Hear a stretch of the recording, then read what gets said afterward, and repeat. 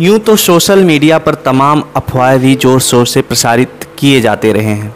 हालाँकि चाहे वो ट्विटर हो या फिर फेसबुक, वहाँ तमाम सवाल भी उठाए जाते हैं। लोगों के सवाल पूछने का ज़रिया भी यही है। हम भी उन खबरों की पुष्टि तो नहीं करते, मगर यह ज़रूर बता सकते हैं कि ये खबरें क्यों चल रही हैं। दरअसल ट्विटर और फेसबुक पर अमित शाह की एक फ़ोटो वायरल हो रही है। इसी फ़ोटो से तमाम लोग उनके स्वास्थ्य को लेकर सवाल उठा रहे हैं। देश के गृह मंत्री अमित शाह की चर्चा सी ए एन आर सी के दौरान जितनी दिखी, उतनी ही चर्चा अब गायब सी हो गई है। लोग इससे पहले मीडिया के सामने उनकी अनुपस्थिति पर भी सवाल उठाने लगे थे। फ़ोटो देखकर उनके स्वास्थ्य को लेकर कांग्रेस नेता अलका लांबा ने भी एक ट्वीट शेयर करते हुए सवाल पूछा है कि क्या यह सच है कि यदि यह सच है तो वास्तव में दुखद है। जल्दी ठीक हो जाएँ। दरअसल, भाविका नाम से एक ट्वीट यूज़र्स ने सवाल पूछा है कि अमित शाह को बोन कैंसर है क्या? वे देश के गृह मंत्री हैं तो उनके स्वास्थ्य को लेकर क्यों नहीं? कोई मीडिया में जानकारी है। दरअसल, इसी ट्वीट को लेकर के अलका लांबा ने रीट्वीट किया है। भड़ास फॉर मीडिया नामक एक पोर्टल पर भी उनके स्वास्थ्य को लेकर के सवाल पूछा गया है। पोर्टल लिखता है कि ईश्वर करें कि अमित शाह स्वस्थ रहें। अमित शाह के बारे में बहुत बातें हो रही हैं। उनके स्वास्थ्य और निस्तेज चेहरे को लेकर कयास लगाए जा रहे हैं। कुछ लोग उन्हें बोन कैंसर से पीड़ित बता रहे हैं तो कुछ अन्य बीमारियों से। लेकिन मीडिया में उनके स्वास्थ्य को लेकर के कोई अपडेट नहीं है। अमित शाह ठीक उसी समय गायब हुए थे जब उत्तर कोरिया के तानाशाह किम जोंग उन गायब हुए थे। इंडियन मीडिया ने बगदादी की तरह किम को 20 से अधिक बार मार डाला, लेकिन किम वापस आ गए, हर तानाशाह की तरह। इंडियन मीडिया के पास मिसाइल रहता तो खुद ही किम को मार देते। ये बोले, ये बोल, हमारा मज़ाक खराब करने क्यों वापस आया तू? जा अब मर। खैर, अमित शाह जब गायब थे तब मीडिया ने यह स्टोरी गढ़ी की पर्दे के पीछे कोरोना से जंग की कमान अमित शाह के हाथ में था। अब जब अमित शाह वापस आए हैं तो मीडिया में आई उनकी फ़ोटो जूम कर देखा जा रहा है। लोग उनके पतले हाथों को देख करके तंज कस कर, कस रहे हैं कि मांस कहाँ गया। वीरेंद्र राय ने अपने एक सोशल मीडिया पर लिखा है कि आखिर अमित शाह क्यों पिक्चर से बाहर हैं? मुझे लगता है कि हर व्यक्ति के जेहन में ये बात होगी कि देश के गृह मंत्री अमित शाह कहाँ हैं। लाजमी है कि जो मंत्री पिछले दिनों अभी जम्मू कश्मीर से धारा 370 और पैंतीस हटाने को लेकर भारत सरकार का नेतृत्व कर रहा था, एनआरसी और सीए के पक्ष में दिन देश भर में लोगों को लामबद्ध कर रहा था, वो अचानक पिक्चर से बाहर कैसे हैं? वो भी ऐसे समय में जब पूरा देश संकट में है तो हम बताते हैं कि ऐसा क्यों है। दरअसल 370 और एनआरसी के मुद्दे पर शाह ने जिस तरह स्टैंड लिया, उससे उनकी छवि एक कट्टर राष्ट्रवादी और हिंदुत्व की बनकर देश में उभरी। भाजपा समर्थकों ने मोदी से ज़्यादा लोकप्रियता शाह की हो गई।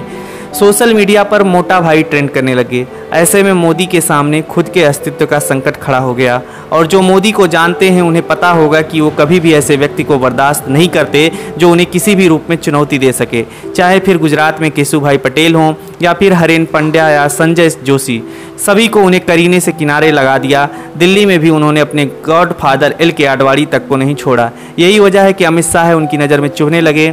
और उन्होंने शाह को साइड लाइन कर दिया। बताया जा रहा है कि मंत्री समूह की जो बैठक हो रही है, उसका नेतृत्व भी राजनाथ सिंह को सौंप दिया गया है, जबकि मंत्रिमंडल के हिसाब से प्रधानमंत्री के बाद गृह मंत्री ही नेतृत्व करता है। लेकिन अमित शाह की को यह ज़िम्मेदारी नहीं दी गई। यही वजह है कि मोटा भाई उस समय साइलेंट हैं, जबकि इस समय सभी राज्यों में कुक से कोऑर्डिनेशन की ज़िम्मेदारी देश के गृह मंत्री की थी। वहीं राज्यों से कोऑर्डिनेट कर इस वैश्विक आपदा से निपटने की रणनीति बनाते, लेकिन मोदी अब खुद फ्रंट पर बैटिंग कर रहे हैं और सभी सीएम से खुद रबता कर रहे हैं। यहाँ तक कि संगठन स्तर पर भाजपा कोरोना को लेकर जो काम कर रही है, उसमें भी मोटा भाई सक्रिय नहीं है। तो इस घटनाक्रम से यह समझा जा सकता है कि राजनीति कितनी क्रूर होती है, यहाँ कोई सगा नहीं है। नोट, वर्तमान परिस्थिति के अनुसार यह आकलन है, ज़रूरी नहीं कि ये सच भी हो, पर हालात इसी ओर इशारा करते हैं। एक पक्ष यह भी ये जो है, जो हमने पढ़ा, वो सोशल मीडिया पर इन्होंने लिखी थी बीरेंद्र राय नाम के शख्स ने। उनकी हम सोशल मीडिया पर प्रतिक्रिया को पढ़े।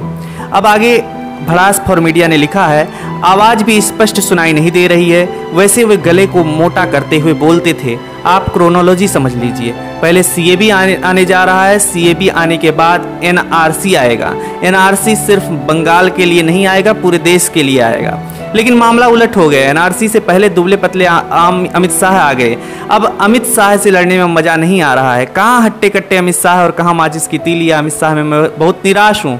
क्या ये बात छुपाई नहीं जा सकती थी? जैसे बीमारी छुपा ली गई, जैसे उस हॉस्पिटल और डॉक्टर को छिपा लिया गया, जिन्होंने रात के अंधेरे में अमित शाह का इलाज किया। उन लोगों को बोल दिया रहा होगा कि कोई जानकारी लीक नहीं होना चाहिए। अगर किसी ने किया तो लोया को याद कर लो, लेकिन मज़ाक खुद अमित शाह ने खराब कर दिया। मेरी अमित शाह को एक सलाह है, जैसे हर तानाशाह अपनी बॉडी डबल रखते हैं, वैसे ही उन्हें भी रख लेना चाहिए। सब लोग ज़्यादा सवाल करने लगे तो ए एन आई के कैमरामैन को बुलाकर हट्टे कट्टे बॉडी डबल की फ़ोटो खींच मीडिया में जारी कर दें। बाकी काम मीडिया कर देगा कि फला फला मिशन पर हैं, अमित शाह। ये दुबला पतला अमित शाह हमें एकदम पसंद नहीं तानाशाहों को परचम बुलंद रहे। ये विक्रम सिंह चौहान की एब्बीवाल से भड़ास फॉर मीडिया ने अपने पोर्टल पर लिखा है, डाला है। हम बता दें ये बात क्यों उठ रही है? दरअसल 2019 में सितंबर 5 को एक खबर खबर चली थी कि गृह मंत्री अमित शाह ने कराई है लिपोमा सर्जरी।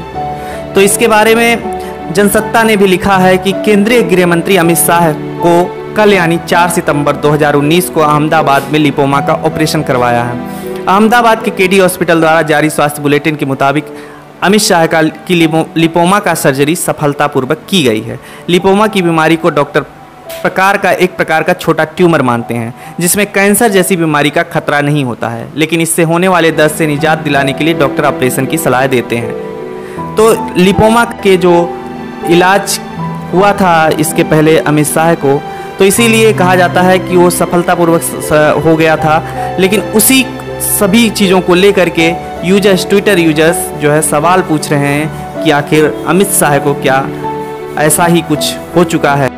क्योंकि लिपोमा एक धीमी गति से बढ़ने वाली वसायुक्त गांठ है। लिपोमा के होने का कारण क्या है, इसका पता भी नहीं लगाया जा सका है। दरअसल लिपोमा होने का कारण आनुवंशिक बताया जा रहा है।